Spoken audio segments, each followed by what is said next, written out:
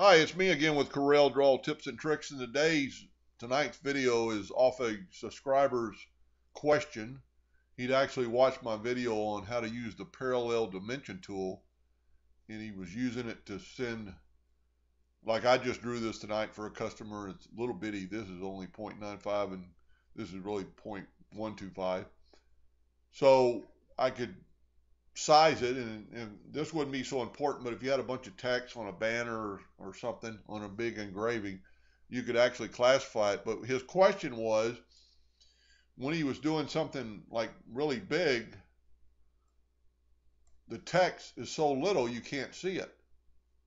So you could go through there and go and change it and you know change it to whatever you wanted to change.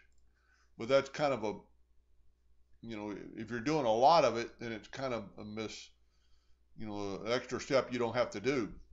So to change that text on that parallel dimension tool, and everybody probably knows this, when you click on your text, before you do anything, if you go up here and click a new number, it's going to come up with this box, paragraph text, artistic text.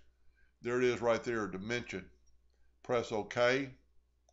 Now get your parallel dimension tool and get on that node and get on that node. And now it gives you 18 point or 18 inches in big bold text so you can see it better.